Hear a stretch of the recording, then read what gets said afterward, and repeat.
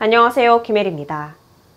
논산시가 시민들의 안전을 위해 관내 취약 지역의 방범 CCTV를 대폭 확충합니다. 논산시는 올해 9월까지 3억 원을 들여 관내 어린이 놀이터와 골목길 등 범죄 취약 지역 18개소에 CCTV 42대를 설치하는데요. 시는 시민의 생명과 재산 보호 및 안전한 도시 환경 조성을 위해 생활안정 방범용 CCTV를 지속적으로 확대 설치해 나간다는 방침입니다. 시 관계자는 일상생활에서 사건, 사고는 신속한 상호 대응 체계 구축이 중요하다며 범죄 사전 예방에 최선의 노력을 기울여 안전도시 논산 구현에 최선을 다하겠다고 말했습니다. 지금까지 충남 네트워크 뉴스 전해드렸습니다.